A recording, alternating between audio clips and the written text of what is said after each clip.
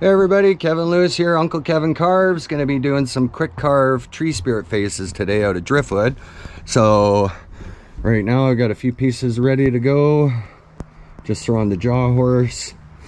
And uh, yeah, just follow along, see how it happens.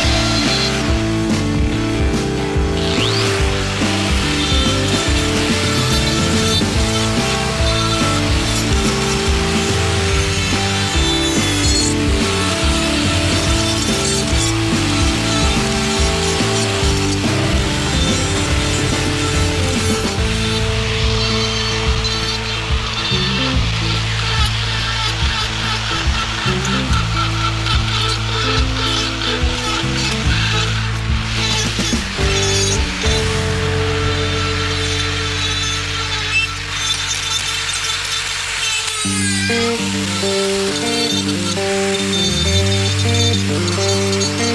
you.